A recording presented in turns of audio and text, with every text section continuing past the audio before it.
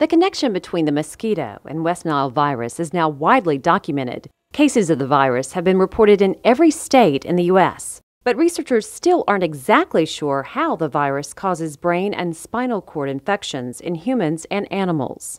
This research team at the University of Southern Mississippi is studying the mechanics of West Nile virus as it relates to animals and working hard to develop a proven treatment for the virus and ultimately a vaccine. Michael is working on um, West Nile virus in um, animal model. So here in USM, we have animal uh, research facility and also we have um, biosafety level 3 cell culture facility.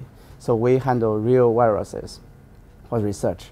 Dr. Bai is widely known as one of the nation's leading West Nile virus researchers, which led to a partnership with Methodist Rehab and UMC in Jackson to create the nation's first ever West Nile virus research network. Graduate student Amber Paul has spent years studying these conditions from both labs and class settings and found it fascinating to meet people who've been infected with the virus. I got to meet patients um, in November of last year for the first time that had been infected with West Nile virus at some point.